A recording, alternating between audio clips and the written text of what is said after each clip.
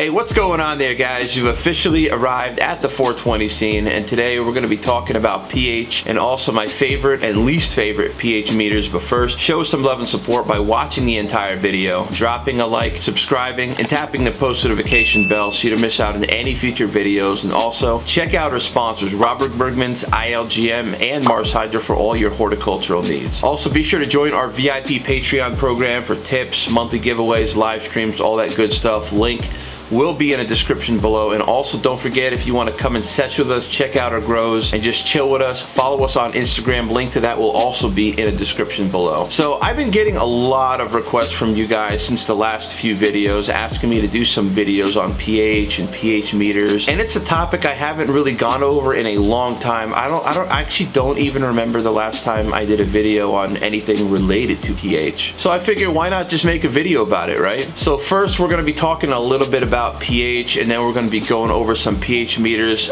you know that I would recommend and some that I just really would not recommend. For a lot of you new growers out there, pH is how you measure how acidic or alkaline your water is and it ranges from 1 to 14. Now, water is considered neutral, so by default, the water's pH is always going to be 7. Now, of course, depending on where you live and your water quality, it's always going to be different. Like where I live, the water is like really hard. It must be from the dead bodies that are probably in the water or something. Let's be real here. DWC means deep water culture, but in my case, it might as well mean dead water culture. When you're trying to lower your pH, and just think about it this way, you're gonna wanna put in something acidic like vinegar or lemon juice. Me personally, I prefer lemon juice. But if the pH is higher than 7.0, you're gonna wanna use something like baking soda, something more alkaline. Now, of course, you could always use pH up and pH down. It depends on who you are though. I know when I started out, I used the pH up and pH down from General Hydroponics. Our plants like pH to be slightly acidic and everyone's gonna give you a different answer, but I've always liked my pH between 6.0 to 6.3. And though if my pH ends up being like 5.8 to 5.9. I'm not gonna really make a big deal out of it. Just remember that rainwater on average is like, I think, I think it's like 5.0 to 5.5, so that's still gonna be pretty good. If your pH falls a little bit under six, don't stress out too much. It should be fine. Now the reason that I say 6.0 to 6.3 is because I've actually run my pH a little bit higher and I ended up getting locked out. I went to my shop. This was like a long, I mean a long time ago when I first kind of started out. And I was saying, you know, I kind of got locked out. What's your pH at? Oh, you know, 6.5, 6.6. I'll try 6.0. Then I tried 6.0 and I didn't have a problem ever since. So now why is pH important when you're growing? I mean, we already know what pH is, but how does the pH of your growing medium affect the growth and health of your plants? Even somebody with a half a brain knows that all plants require nutrients for healthy growth. I hope you guys all know that, right? Your plants need nitrogen, they need phosphorus, potassium, calcium, magnesium, iron, copper, pretty much macronutrients and micronutrients. And I feel like a lot of people understand that your plants do need the nitrogen, phosphorus, and potassium because, you know, the first thing that we learn when we start is understanding NPK. Everything you read is NPK. All the bottles and amendments, you see NPK ratios, but you can't forget about the micronutrients either, like the stuff I talked about, the calcium, magnesium, iron, the, the sulfur, copper, all that stuff. Can't be forgetting about that. And if your pH level is not where it needs to be, they won't be able to take in any nutrients, and that's how you're gonna end up getting locked out. So your plants don't eat until your pH level is on point.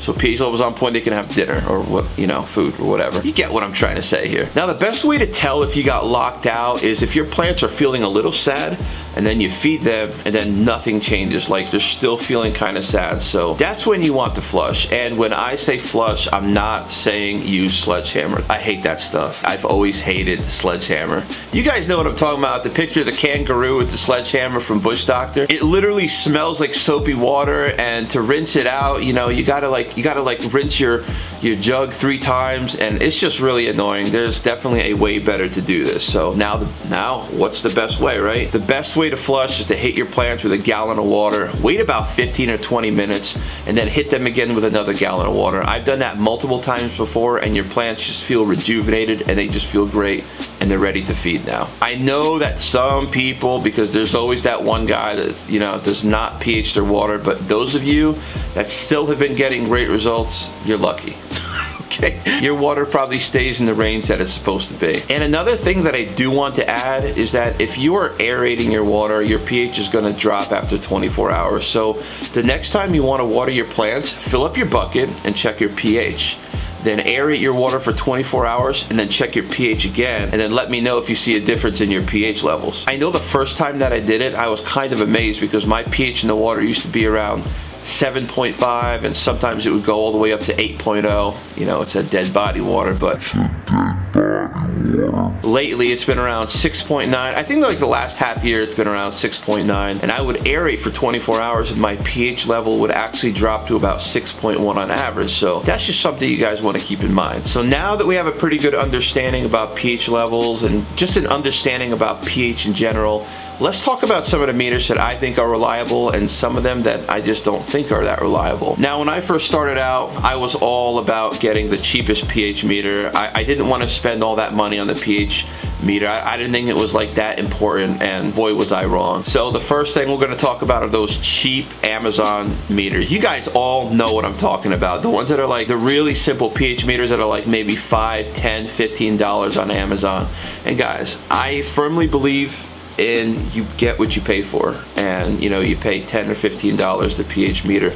You're constantly going to have to recalibrate. You're never really going to know what your pH levels are because they're always going to be whacked out. Like literally almost every single time I would have to recalibrate. If you don't have to then you're lucky. But whatever pH meters that I got on Amazon they were just not reliable and I got two of them I got the first one because I figured that was a fluke. It was probably just a bad one.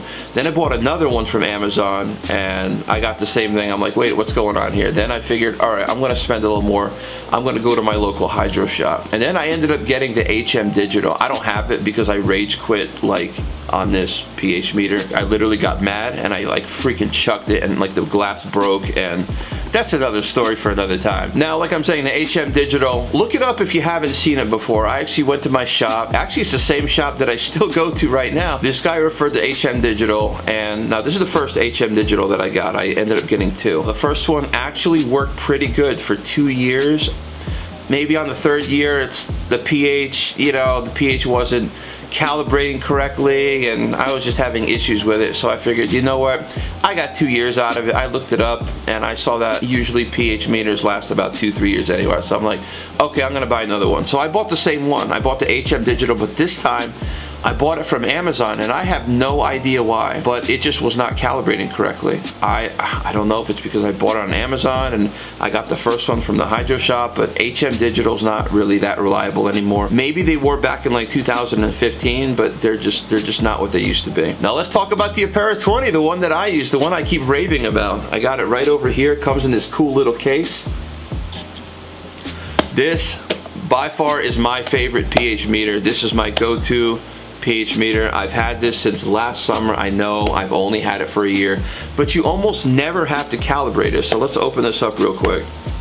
And this is what it looks like when you get it. You have like the, you know, the calibration solution. It's still really good. So you have the 4.0 and you have the 7.0. So this is the, that's the 4.0. Uh, you can't even see it, but, and this one is the 7.0. You guys can see that, right? This is the Apera 20 pH meter. Hopefully you guys can see that pretty good. And you pretty much have your, your power button over here and your calibration button. So you turn this on. And then if you want to calibrate, you would just hold this in and it automatically is going to calibrate to 7.0 unless you want to change it, of course, but this is a really good pH meter. I hardly have to recalibrate it. I actually recalibrated it this morning and it was at 7.1. I mean, it was barely off. And the last time I had to recalibrate this was maybe maybe five months ago, five, six months ago, and I mean, it was never off. I would use the calibration solution. I, I use different kinds of calibration solution. I would use the Blue Labs and the one that came with the Apera, and I mean, it was maybe off by a point, if that. So if you guys are in the market for a pH meter, I highly recommend the Apera. It doesn't have to be the Apera 20. I know they got the Apera 60. Someone in the comment section, whoever you are, you know who you are, commented that you had great results with the Apera 60. So if you want the Apera 20, that's still good too, even though it's cheaper if you want to save a couple bucks. Apera is great. Now, Blue Labs, because I actually just mentioned about the pH calibration solution. I really like their, their calibration solution. It, it, it's always been reliable for me. Now as far as the Blue Labs pH meters, they're very expensive. I think I saw some for like 80 $90 and when you spend that kind of money you're going to be expecting to have quality. You're going to expect to have a really good pH meter and I've heard nothing but great stuff about Blue Labs. Let me know in the comment section what pH meters you're using, if you're using Blue Labs, if you're using a Apera, HM Digital. There's a whole bunch of stuff out there now. There wasn't a lot of stuff available a few years ago but like a lot of companies are just coming out with products left and right, left and right. And that goes for like LEDs or pH meters, all the different soils out there. It's just crazy how much marketing there is now. There's so much stuff available for you guys. Pretty much from what I hear, Blue Labs is the best of the best. You won't be disappointed. I think it has a five-year warranty. Someone mentioned that Blue Labs has a five-year warranty on their pH meters, which is great. So if it dies in three, four years, get, get, get a new one with that warranty, and you got a pH meter for like seven, eight years. Even if you spend like 80, 90 dollars, if you have a pH meter for that long, seven, eight years, that's still pretty good, right? And secondly, you know, if you want the Apera, this is really good. I've only had this since last summer and so we had it for pretty much over a little bit over a year because I think I got this in May of last year so the Apera and Blue Labs would probably be your best bet. HM Digital I'm gonna say no. Maybe a few years ago maybe. I mean they were good for the first two years when I started growing but then after that it just kind of kind of crapped out. And stay away from those cheap Amazon ones the 10 15 dollar ones because you're gonna spend that money. You think you're gonna save a whole bunch of money. You're gonna save like 20 25 bucks or 30 bucks, whatever.